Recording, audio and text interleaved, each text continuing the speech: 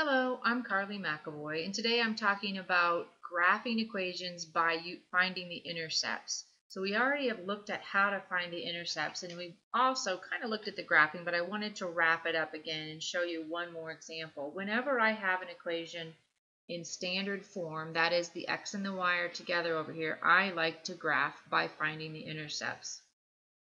I find two intercepts, the a-intercept and the b-intercept, um, the a-intercept or x-intercept, sorry, and the y-intercept I find by setting the various parts equal to 0.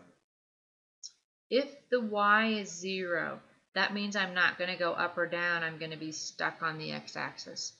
If the x is 0, that means I'm not going to go left or right, and I'll be stuck on the y-axis. So that's what these, how these help us find these um, intercepts. Okay, what if y is 0 here? Then I would say 2x minus 0 is negative 2. 2x is negative 2. And I divide both sides by 2. And I get x equals, this is just 2, not negative 2, x equals negative 1. And then I go, what if I want to find the y-intercept? I make x 0, so I would say 2 times 0 minus y is negative 2. The zeros go away. Negative y is negative 2, and if I divide both sides by negative 1, I get y equals 2. So now I'm going to graph those. I'm going to say if x is negative 1, y is 0, and if x is 0, y is 2. And those two points could be enough for me to graph the equation. So I have negative 1 and positive 2. Connect those up, extend a little ways, and I've graphed that by finding just those two points, two vital points, very interesting points for us, and those are the two intercepts. Okay, same thing here. I want to graph using the intercepts. Remember, you can call them a and B, or you can actually write out x-intercept and y-intercept. I'm doing both so that you have choices. The x-intercept is what you get when you make y 0, and the y-intercept is what you get when you make x 0. So they're two specific points. So let's do this. The x-intercept, y is 0.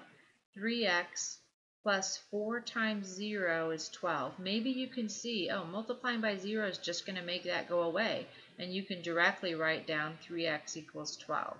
That would be perfectly acceptable. x is 4. And for the second one, what if x is 0? Then you have 3 times 0, 4y equals 12. This goes away. 4y is 12. And dividing both sides by 4, I get y equals 3. So my x-intercept is 4. 1, 2, 3, 4 and my y-intercept is 3, 1, 2, 3. Those two points are enough.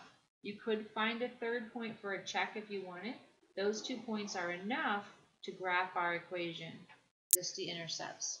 And the third example is in a different form. It's in slope-intercept form. And I don't really always like to find the intercepts when it's in this format, but you can, and we're going to but we could definitely use a maybe different method here. But for the first two, that is my method of choice. Okay, I'm going to find A by making y 0, and I'm going to find B by making x 0. Even though I'm calling them A and B, A is the x-intercept and B is the y-intercept. So in order to find out what x is, I'm going to make y 0 and then divide both sides and I get positive because I had a negative and a negative I get positive 1 half. In my other one this is the one where you should be able to do this without doing any work on paper. If x is 0 negative 2 times 0 is going to go away and become 0 and y is just 1 when we're looking for that y-intercept all we have to do is look for the number on the end that's a really nice little shortcut. All right, on my x-intercept, I go to 1 half. On my y-intercept, I go to 1. And there's my graph.